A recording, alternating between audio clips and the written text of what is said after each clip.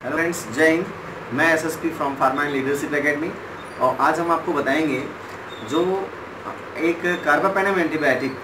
Meropenem जो कि पहले वीडियो में आप देख चुके हैं, उसके बारे में मैंने सारी इन्फॉर्मेशन बताई थी।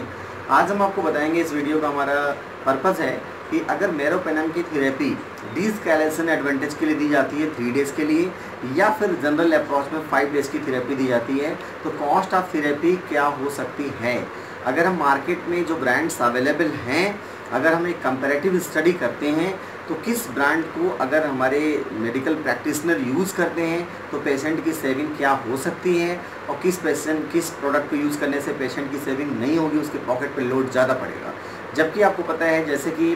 जिस फार्मा है, या A N G life sciences है, या बी डी आर की हम बात करें, या थियोन लाइफ साइंसेस की बात करें तो ऐसी कंपनीज़ हैं गुफिक की हम बात करें, जहाँ से ये जो इंजेक्टेबल्स हैं, ये मैन्युफैक्चर होते हैं। जैसा कि आपको पता है, एक गुड मैन्युफैक्चरिंग प्रैक्टिस गाइडलाइंस होती हैं आईएसओ गाइडलाइंस होती हैं तो उस पर जो खरा उतरती है मैन्युफैक्चरिंग प्लांट वहाँ पे इनका अप्रूवल मिलता है because these are the injectable products तो ऐसे में क्वालिटी की अगर हम बात करें तो जहाँ भी हम मैन्युफैक्चरिंग कराते हैं, हमको क्वालिटी प्रोडक्ट मिलेंगे। अब बात आती है कि इनके कॉस्ट ऑफ़ कॉस्ट में इतना वेरिएशन क्यों होता है? और अगर ये हम पेशेंट्स में यूज़ करते हैं तो पेशेंट पर लोड कितना पड़ता है? दूसरी चीज़ यहाँ पे मैं ध्यान आकृष्ट कराना चाहूँगा।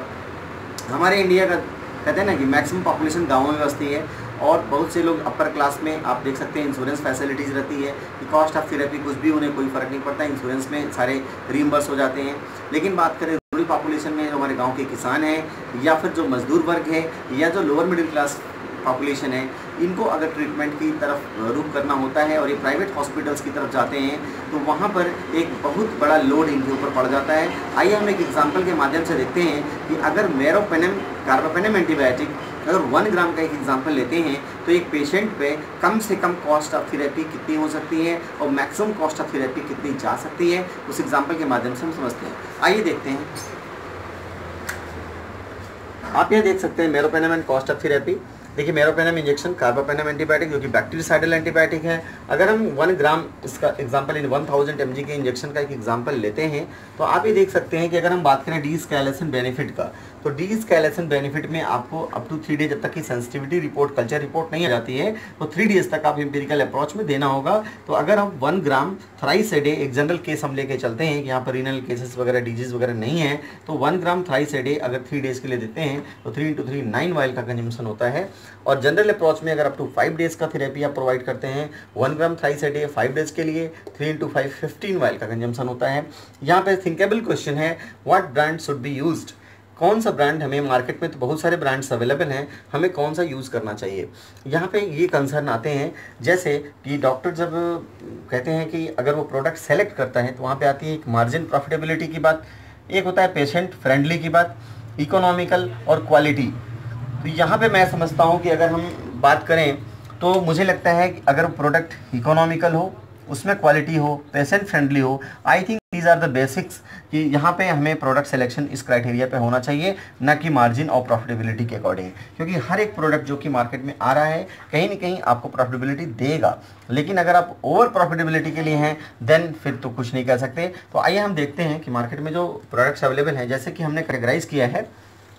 एक तो हाई एमआरपी जैसे कि मैंने 2500 यानी 2500 से 3200 एमआरपी तक के जो मेरोपेनम है हाई एमआरपी ग्रेड में रखा है। और एक मिडिल एमआरपी जो कि 1500 से लेकर के 22,500 के बीच के एमआरपी को मिडिल रखा है। और लो एमआरपी में यानी 550 से लेकर के 1500 तक के एमआरपी को रखा है। और लोवेस्ट एमआरपी में 449 का रखा है। आइए हम देखते हैं कौन कौन से ब्रांड्स हैं हायर एमआरपी के। तो आप देख सकते हैं मेरोनेम मेरोक्रिट जैक्स्टर मेरीवॉक अगर हम बात करें मिडिल में तो आपका मीरो प्रिक है। बात करें लो एमआरपी में तो आपका मीरो मीरो ट्रॉल मीरोविन मीरो मैक और लोवेस्ट एमआरपी जो इंडिया में अवेलेबल है दैट इज़ आई बी मेरो तो अगर हम, अब आगे हम देखते हैं कि कैसे पेशेंट क्या सेव कर सकता है। देखिए, यहाँ पे मेरोपेनम और कॉस्ट ऑफ़ थेरेपी का हमने एक टेबल बनाया हुआ है। आप देख सकते हैं हमने हायर एमआरपी का, जैसे हमने कहा ना ट्वेंटी फाइव हंड्रेड और मान लीजिए कि ट्वेंटी फाइव हंड्रेड से लेके वेरिएशन थर्टी टू हंड्रेड तक का है। तो आपको जैसा पता है हम एक जनरल केस लेके चल रहे हैं। अगर टीडीएस हम दे रहे हैं एक दिन में थ्री वायल्स हम दे रहे हैं तो ट्वेंटी फाइव हंड्रेड वाला अगर थ्री वायल देते हैं तो seven thousand five hundred one day का कॉस्ट पड़ेगा। और अगर हम थर्टी टू हंड्रेड वाला दे रहे हैं thirty two hundred into three nine thousand six hundred ये वन डे का कॉस्ट होगा। मिनिमम थ्री डेज़ अगर हम डिस्कैलेसन एडवांटेज में ले जा रहे हैं तो अगर हम 2500 पी का यूज़ करते हैं तो थ्री डेज़ का कॉस्ट ऑफ़ थेरेपी आएगा 22,500 और अगर 3200 एमआरपी का यूज़ करते हैं तो कॉस्ट विल बी 28,800 अब आप आते हैं फाइव डेज़ अप्रोच में जाते हैं तो देखिए आपका वन डे का कॉस्ट है seven thousand five hundred into five तो thirty seven thousand five hundred अगर थर्टी टू हंड्रेड एमआरपी का यूज़ करते हैं तो nine thousand six hundred one day का into five days forty eight thousand ये एक देखिए, अगर हम मिडिल एमआरपी में बात करते हैं, आप देख सकते हैं, अगर हम 1500 से लेकर 2500 का वेरिएशन देखते हैं तो आप यहाँ देख सकते हैं 1500 per vial into three per day का तो 4500 ऐसे थ्री डेज़ का 13000 फाइव डेज़ का 22,500 ऐसे देखिएगा 2500 एमआरपी का हम इंजेक्शन यूज़ करते हैं तो वन डे का cost of therapy 7,500 three days का 22,500 फाइव हंड्रेड फाइव डेज़ का 37,500 लो एमआरपी में बात करें अगर 550 से लेकर के हम 1500 के बीच का यूज़ करते हैं फिफ्टी से फिफ्टीन हंड्रेड का हम लेते हैं जैसे फाइव फिफ्टी पर वायल के हिसाब से अगर पर डे थ्री वायल लगता है तो sixteen hundred fifty rupees three days का four thousand nine hundred fifty rupees five days का eight thousand two hundred fifty rupees तो ये पॉइंट इसको ध्यान रखना है। और अगर हम बात करें लोवेस्ट एम की, अगर फिफ्टीन हंड्रेड का लेते हैं तो पर डे का cost forty thousand four thousand five hundred three days का थर्टीन थाउज़ेंड और फाइव डेज़ का twenty two thousand five hundred और लोवेस्ट एम जो फोर फोर नाइन में अवेलेबल है तो फोर फोर नाइन का थ्री वेल्स तो thirteen hundred forty seven per day का और थ्री डेज़ का फोर थाउज़ेंड फोर्टी वन और फाइव डेज़ का six thousand seven hundred thirty five अब देखिए, यहाँ पे एक कंसर्न है जो मैं शेयर करना चाहता हूँ। वो ये है कि साल्ट एक ही है, उसका नाम मेरोपेनम और क्रिटिकली इल पेशेंट्स में हम दे रहे हैं, जहाँ भी बैक्टीरियल इन्फेक्शन हैं मेनिंजाइटिस के केस हैं या इंटर इन्फेक्शन हैं। या फिर डी स्कैलेसन बेनिफिट्स की हम बात करें तो अगर हम मेरोपेनम दे रहे हैं, वही वन ग्राम का मेरोपेनम बनाने वाली मैन्युफैक्चरिंग प्लांट्स लगभग सेम तो ऐसे में अगर हम बात करते हैं तो आप देख सकते हैं एक पेशेंट पे अगर फाइव डेज़ की कॉस्ट ऑफ़ थेरेपी अगर lowest M R P four four nine जो कि आई बी मेरो इंडिया बुल्स का है तो ये आपका आता है फाइव डेज़ का six thousand seven hundred thirty five और अगर हाईएस्ट की बात करें तो आप देखिए थर्टी टू हंड्रेड एमआरपी का यूज़ किया था फाइव डेज़ का फोर्टी एट थाउज़ेंड तो अगर हम लोवेस्ट टू हाईएस्ट का हमें डिफरेंस देखते हैं तो अप्रॉक्सीमेटली फोर्टी टू थाउज़ेंड का डिफरेंस आपको यहाँ मिल रहा है। तो आप सोचिए, अगर ये किसी भी रूरल पॉपुलेशन के पेशेंट को या लोअर मिडिल क्लास फैमिली के पेशेंट को अगर लगता है तो आप सोच सकते हैं कि कॉस्ट ऑफ़ थेरेपी कितना बढ़ जाएगा। और जहाँ भी क्रिटिकली इल पेशेंट होगा, वहाँ पे सबसे बड़ा कंसर्न क्या होगा? उसका bed charge doctor visit charge अगर वो आईसीयू में है तो आईसीयू का चार्ज और भी बहुत से चार्जेस हैं। आई डीएनएस चल रहा है एनएस चल रहा है डी फाइव डी टेन जो भी इन्फ्यूजन्स हो रहे हैं, और भी जैसे उसका कैथेटर लगा हुआ है, उसके कैनुला का खर्चा, बहुत सारे खर्चे होते हैं। तो आप समझिए कि उस पेशेंट पे कितना लोड बढ़ जाता है। तो ऐसे में अगर हम बात करते हैं कभी कभी इसलिए भारतीय संविधान को जब देख के लगता है ना, यहाँ पे समानता की बात कही जाती है, लेकिन यहीं पे देखिए कितनी बड़ी असमानता है। तो यहाँ पे मैं उन कंपनीज़ को ढेर सारा धन्यवाद कहता हूँ। Thank you very much to those companies who has come up with the low MRP and the lowest MRP specifically अभी जैसे मैंने हाल ही में देखा Mylan five forty five M R P पे लेके आई है। Thanks to Mylan coming with coming with this MRP for the patient welfare and thanks to India Bulls Pharmaceuticals who has come up with the MRP of 449 IB Mero. तो ये मुझे लगता है कि अगर कहीं भी मेडिकल कम्युनिटी में अगर पेशेंट पे जहाँ भी मेरोपेनम यूज़ करना है, अगर यहाँ पे हम मेरोपेनम लोवेस्ट एम का सेलेक्ट करते हैं तो देखिए इसके क्या बेनिफिट हो सकते हैं। जैसे मैं आपको यहाँ शेयर करूँगा। सपोज़ कीजिए कोई पेशेंट है और अगर वहाँ पे हमें लगता है कि उस पेशेंट को मेरोपेनम यूज़ करना चाहिए लेकिन अगर मेरोपेनम से हमको प्रॉपर रिस्पांस नहीं मिलता है, फिर लगता है कि नहीं, हमें कॉम्बो अप्रोच में कोई और ड्रग ऐड करनी है। सपोज़ कीजिए कोलिस्टिन ऐड करनी है, या फिर आपको